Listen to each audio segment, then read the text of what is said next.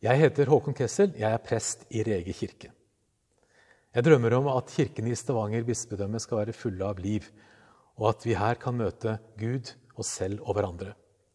Også at det å følge etter Jesus betyr at vi er med å bygge lokalsamfunnene våre. Og at kirka blir et sted hvor det er rom for Gud og rom for alle dit vi er kommet i vår livsvandring. Jeg er så heldig at jeg har fått jobbe mange år i kirka. Dette er en veldig fin arbeidsplass. Jeg treffer mennesker i alle livets faser, både i sorg og i glede. Og sammen med gode medarbeidere så får jeg være med å gi håp og skape møteplasser mellom Gud og mennesker.